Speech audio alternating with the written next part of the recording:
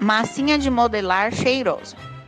Materiais: amido de milho, condicionador de cabelo, corante líquido. Modo de fazer: misture duas xícaras de amido de milho com meia xícara de condicionador. Amasse até ficar uma massa homogênea. Caso necessário, pode colocar um pouco mais de um dos dois ingredientes, até que a massa não grude mais nas mãos. Depois, adicione o corante líquido e misture na massa, até que ela atinja a cor que você desejar.